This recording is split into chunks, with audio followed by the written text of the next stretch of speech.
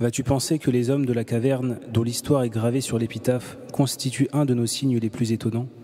Lorsque ces jeunes gens se réfugièrent dans cette caverne, ils firent cette prière. Seigneur, assiste-nous par un effet de ta grâce et fais que notre conduite soit conforme à la rectitude.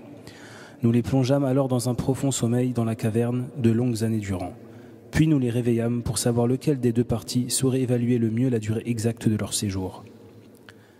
Cette exclamation implique la négation et l'interdiction, c'est-à-dire ne pense pas que le récit des hommes réfugiés dans la caverne et ce qui leur est arrivé soit étranger au signe d'Allah et soit sans équivalent dans sa sagesse. Bien plus, Allah a comme signe merveilleux et extraordinaire ce qui est innombrable. Des signes pareils à celui des hommes de la caverne et plus encore. Certes, Allah ne cesse de faire voir à ses serviteurs des signes dans les horizons et en eux-mêmes, ce qui leur permet de distinguer entre la vérité et l'erreur, entre la guidance et l'égarement.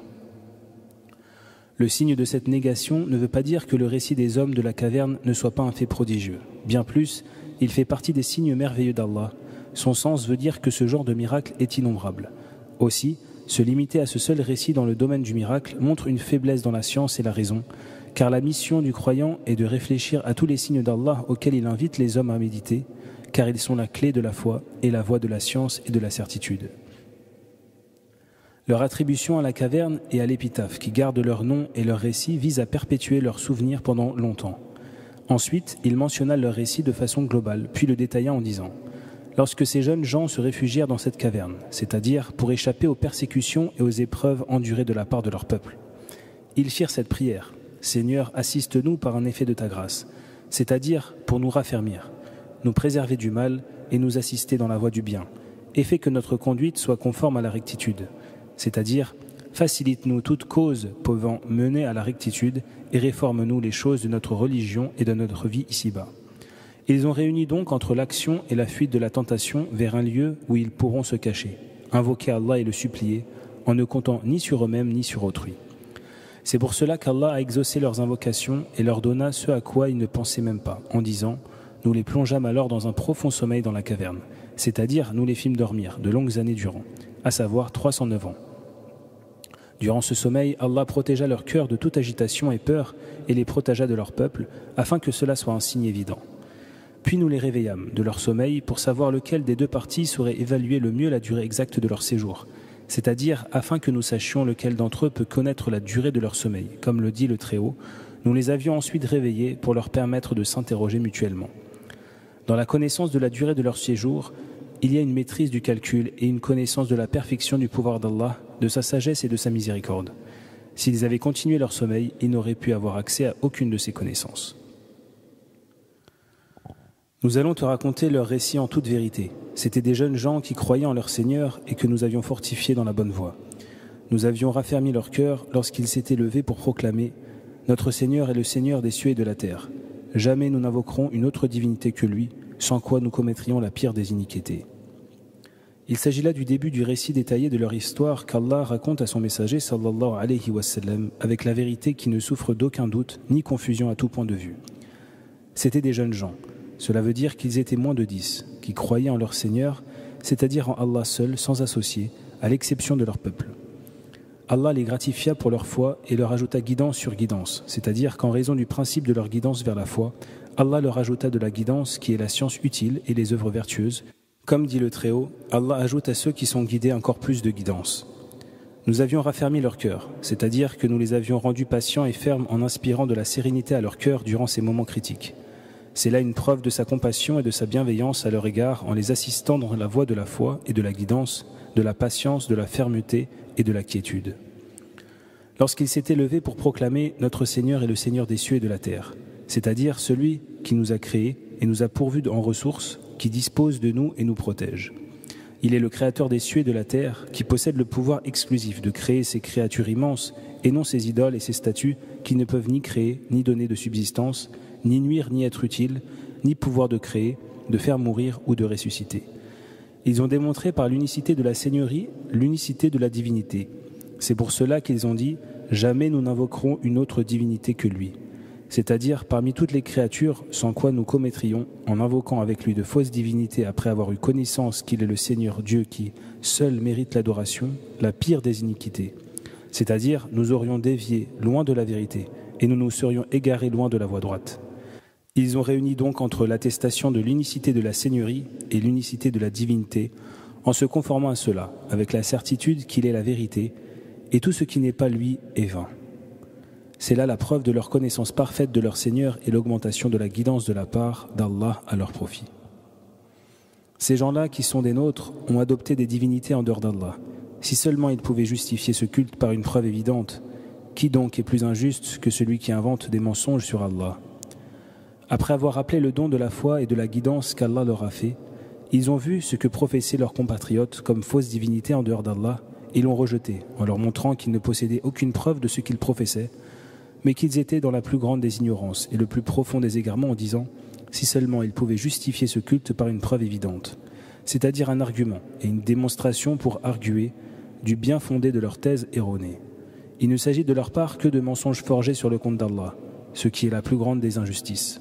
C'est pour cela qu'il dit Qui donc est plus injuste que celui qui invente des mensonges sur Allah? Maintenant se dirent-ils que vous les avez fuis, eux et ceux qu'ils adorent en dehors d'Allah, réfugiez-vous dans la caverne. Allah étendra sur vous les effets de sa miséricorde et apportera une amélioration à votre sort. C'est-à-dire que les uns dirent aux autres, si vos compatriotes vous isolent à cause de votre religion et vous persécutent, il ne vous reste plus qu'à fuir leurs méfaits en utilisant les causes vous permettant de le faire, car vous n'avez aucune possibilité de leur résister ou de rester parmi eux, alors qu'ils refusent de suivre votre religion. Réfugiez-vous dans la caverne en y trouvant asile. Allah étendra sur vous les effets de sa miséricorde et apportera une amélioration à votre sort.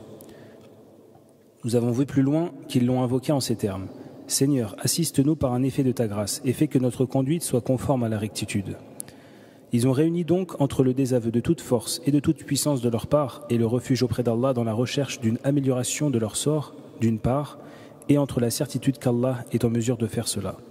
Certes, Allah a étendu sur eux sa miséricorde et leur a accordé toute son attention. Il a protégé leur foi et leur corps et a fait d'eux un signe pour ses créatures. Il leur a laissé une belle renommée qui est un effet de sa miséricorde envers eux et leur a facilité tous les moyens et causes, y compris le lieu où ils dormirent. C'est là le summum de l'attention. C'est pour ça qu'il dit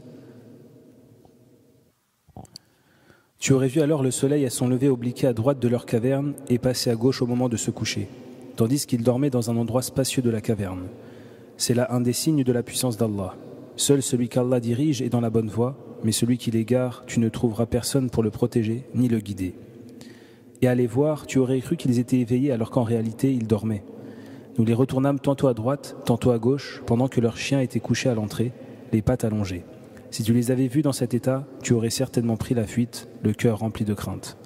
C'est-à-dire qu'Allah les a protégés du soleil et leur a facilité l'accès à une caverne de façon à ce que lorsque le soleil se lève, il oblique à droite de leur caverne, et lorsqu'ils se couchent, il passe à gauche, protégeant leur corps de toute décomposition.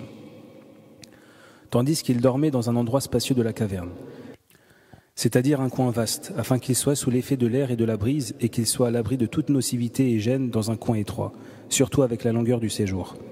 Tout cela fait partie des signes d'Allah qui prouvent son pouvoir et sa miséricorde envers eux, ainsi que son exaucement de leurs invocations et leur guidance y compris dans ces circonstances. C'est pour cela qu'il dit Seul celui qu'Allah dirige est dans la bonne voie. C'est-à-dire qu'il n'y a pas d'autre moyen d'obtenir la guidance sinon de la part d'Allah, car c'est lui le guide qui oriente et dirige dans l'intérêt des deux demeures. Mais celui qui l'égare, tu ne trouveras personne pour le protéger ni le guider, c'est-à-dire que tu ne trouveras personne pour s'occuper de lui et lui montrer ce qui est dans son intérêt, ni pour le guider vers le bien et le salut, car Allah a décrété l'égarement pour lui, et rien ne s'oppose à ses décrets. Et à les voir, tu aurais cru qu'ils étaient éveillés, alors qu'en réalité ils dormaient. C'est-à-dire que celui qui les regarde croit qu'ils sont éveillés, alors qu'en réalité ils sont endormis. Selon les exégètes, c'est parce que leurs yeux étaient ouverts afin qu'ils ne se corrompent pas. Aussi celui qui les regarde pense qu'ils sont éveillés alors qu'ils sont endormis. Nous les retournâmes tantôt à droite, tantôt à gauche. Cela aussi fait partie de la méthode de protection de leur corps, car la terre a pour vocation de ronger les corps qui lui sont collés. Aussi la volonté d'Allah a voulu qu'ils les retournent tantôt à droite, tantôt à gauche, de façon à ce que la terre ne corrompe pas leur corps. Certes, Allah est en mesure de protéger leur corps sur terre sans les retourner, mais le Très-Haut est sage et il a voulu que les causes soient liées à leurs effets et que ces lois soient en vigueur dans l'univers. Pendant que leur chien était couché à l'entrée, les pattes allongées, c'est-à-dire que leur chien qui se trouvait avec eux fut soumis au même sommeil qu'eux, alors qu'ils les gardaient. Il était couché à l'entrée de la caverne, les pattes allongées. Ceci pour leur protection contre la terre. En ce qui concerne leur protection contre les hommes, le Très-Haut nous dit qu'il les a protégés par la frayeur qu'il a suscitée autour d'eux. En effet, si quelqu'un les avait vus dans cet état, son cœur se serait rempli de frayeur et il aurait fui aussitôt. C'est cela qui leur a permis de rester toute cette période sans que quelqu'un ne les ait trouvés, bien qu'ils étaient proches de la ville. La preuve qu'ils étaient proches de la ville est qu'au moment de leur réveil, ils avaient envoyé l'un d'eux pour leur acheter de la nourriture à la ville, ce qui prouve leur proximité de la ville. Nous les avons ensuite réveillés pour leur permettre de s'interroger mutuellement. C'est ainsi que l'un d'eux demanda Combien de temps sommes-nous restés ici? Peut-être un jour ou même moins encore, répondirent d'autres. Puis ils reprirent Votre Seigneur le sait mieux que nous. Envoyez plutôt l'un de vous à la ville avec l'argent que voici, pour qu'il cherche l'aliment le plus pur et qu'il vous en apporte de quoi vous nourrir. Qu'il agisse avec tact pour ne révéler à personne votre retraite, car s'il vous découvrait, il vous lapiderait, ou vous ramènerait à leur culte, et vous ne parviendrez alors plus jamais à la félicité. Le Très-Haut dit Nous les avons ensuite réveillés de leur long sommeil pour leur permettre de s'interroger mutuellement sur la durée de leur séjour dans la caverne. C'est ainsi que l'un d'eux demanda Combien de temps sommes-nous restés ici? Peut-être un jour ou même moins encore, répondirent d'autres. Cela est bâti sur le doute de celui qui pose la question, comme s'il n'était pas sûr d'avoir trop longtemps dormi.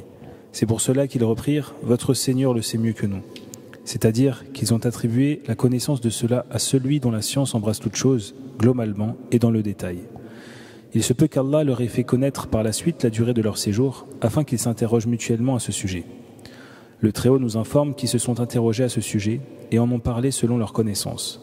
Il est certain qu'il leur a donné la certitude sur la durée de leur séjour. Par conséquent, nous saurons sa sagesse dans leur réveil ainsi que le fait qu'il ne fait rien par vanité.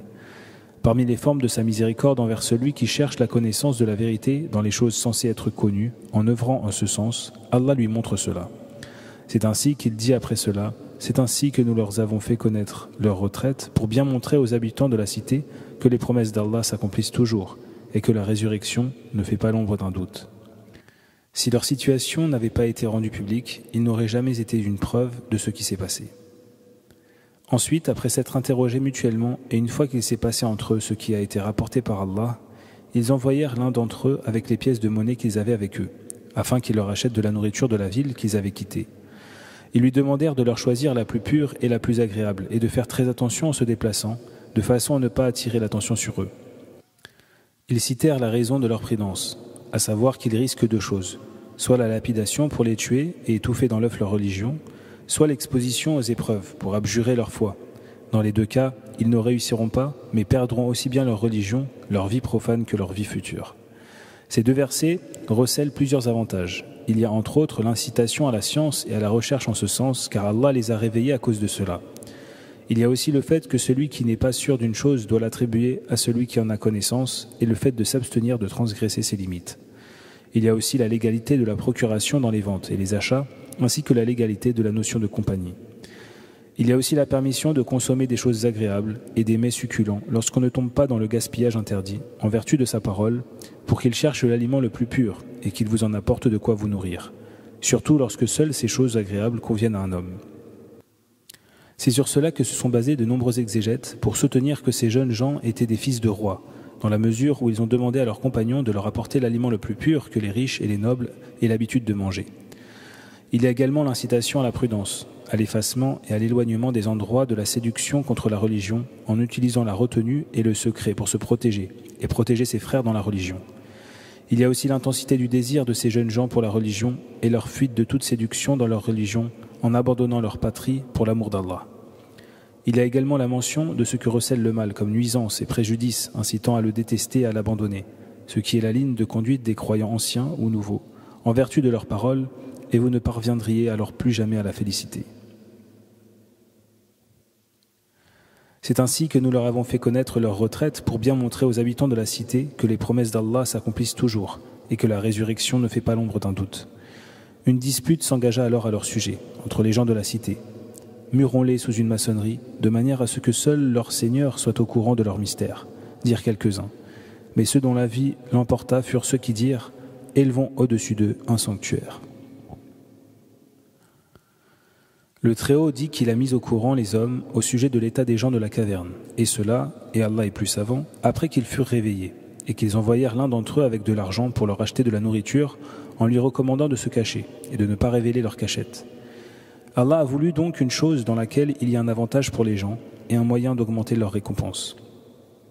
En effet, les hommes ont vu dans leur situation un signe parmi les signes d'Allah, qu'on peut voir de visu, leur prouvant que la promesse d'Allah est une vérité qui ne souffre d'aucun doute ni scepticisme. Après qu'ils aient engagé une discussion à leur sujet, les uns attestant de cette promesse et de la rétribution qui en découle, et les autres niant cela. Il a fait donc de leur récit un moyen de renforcer la clairvoyance et la certitude des croyants et un argument contre les négateurs. Les croyants obtinrent donc une rétribution grâce à ce récit.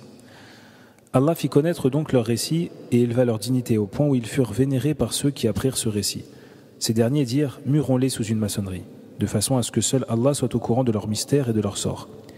Mais ceux dont la vie l'emporta, c'est-à-dire ceux qui avaient le pouvoir de décision, dirent Élevons au-dessus d'eux un sanctuaire, c'est-à-dire un sanctuaire où nous adorerons Allah et où nous évoquerons leurs souvenirs et leur situation et ce qui leur est arrivé. Cependant, cette perspective est interdite par le prophète sallallahu alayhi wa sallam, qui a mis en garde contre elle et blâmé ceux qui le font. Certes, sa mention ici ne signifie pas qu'elle n'est pas blâmée.